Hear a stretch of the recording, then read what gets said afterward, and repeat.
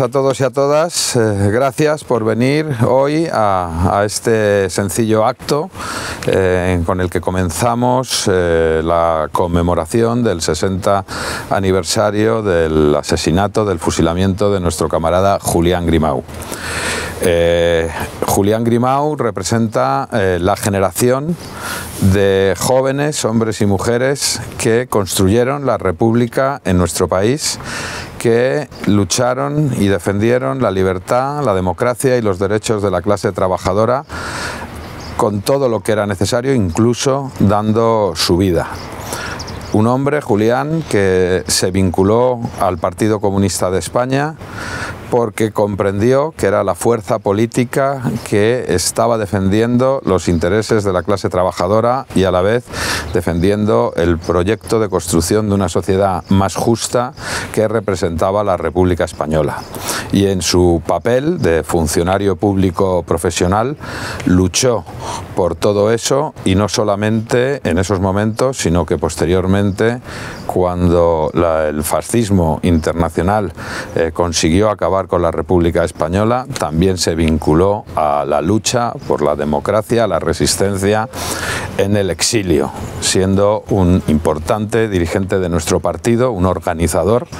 motivo por el cual acudió a España en situación de clandestinidad para reorganizar eh, a nuestro partido, para reorganizar la resistencia antifranquista. Como recordamos, Julián fue el último asesinado de la guerra civil sometido tras su detención a un consejo de guerra incluso con hasta en un momento de, régimen autoritario, de dictadura, incluso vulnerando las propias leyes de la dictadura. Julián tenía que haber sido sometido al Tribunal de Orden Público, no a un Consejo de Guerra, pero no había ninguna duda de que desde el primer momento el franquismo quiso asesinarlo. Recordamos la inmensa campaña de solidaridad que se desarrolló no solamente en toda Europa, en todo el mundo, importantes protestas en toda Europa incluso pronunciamientos hasta en ese momento hasta del Vaticano y autoridades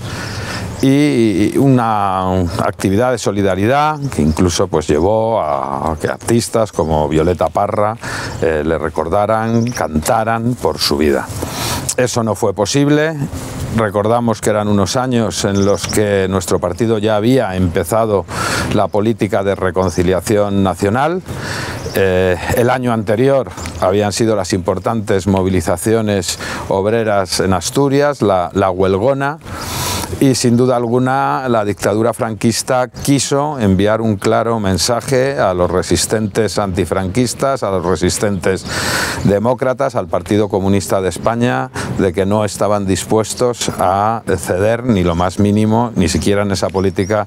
de reconciliación nacional. Hoy Julián es un símbolo de, la lucha por la democracia en nuestro país. Y no viene mal recordar en estos momentos en los que el fascismo y el franquismo vuelven a resurgir, que eh, soportamos una oposición en estos momentos de la derecha y la ultraderecha, no solamente inspirada por el franquismo, sino incluso claros herederos de muchos de los prebostes que participaron incluso en el crimen de Julián. No viene de mal, de más recordar que uno de los fundadores del Partido Popular, Manuel Fraga eh, Iribarne era en el momento en el que se realizó el Consejo de Guerra, que condenó a Julián Grimau y que ejecutó a Julián Grimau, era miembro del Consejo de Ministros de Franco y por lo tanto también aprobó, ratificó esa condena a muerte. No podemos más que estar sumamente agradecidos al camarada Julián Grimau por su sacrificio, recordarle y volver a reiterar